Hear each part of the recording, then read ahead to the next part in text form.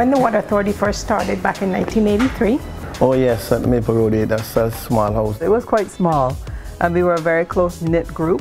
our space was just a little bit bigger than this room. It's been amazing to watch how we went from that building to the smaller one and then to this lab. Well, I would say uh, growing like a young child. I mean, every, every day is something new. Oh, now you got me on the spot.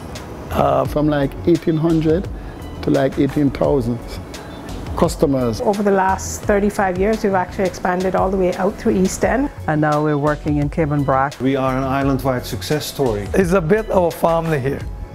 I met my wife here. People all stick together. People is nice, friendly. I always love working here. I love working here. Of course, I like it here. I've been here 30, 30 years.